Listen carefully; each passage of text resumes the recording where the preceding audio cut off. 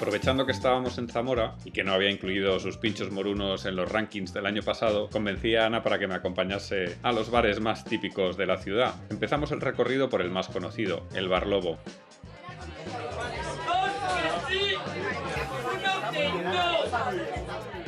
Un pequeño local alargado que hace esquina. Entrando a la izquierda es todo barra. Enfrente, taburetes y mesas bajas. Siempre con buen ambiente. En cuanto entras, te saludan. Si pides moruno, gritan uno que sí o uno que no, en función de si lo has pedido picante o no. El pincho moruno es bastante largo, con trozos regulares de carne de cerdo, muy sabroso. Mejor el picante. Dos pinchos servidos con pan y dos cortos de cerveza fueron 3,60.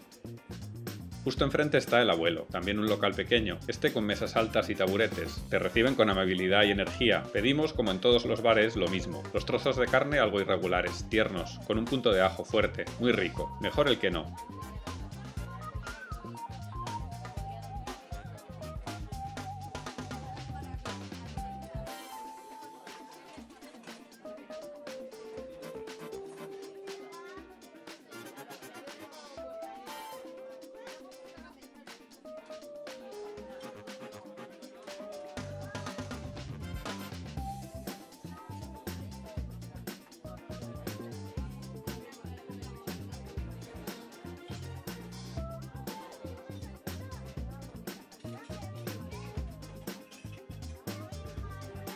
Muy bien de precio, aunque no hay grandes diferencias. También con el pan fueron 3,20. En la calle paralela hay otro lobo, este fundado en 1957. De hecho, la zona se conoce como Los Lobos. Otro local pequeño con un banco alargado fuera. Dentro a mano derecha está la típica barra metálica. Repetimos una vez más. Los pinchos son algo más cortos, los trozos los más irregulares, con los bordes bien tostados, con algo más de mordida, el picante bastante suave.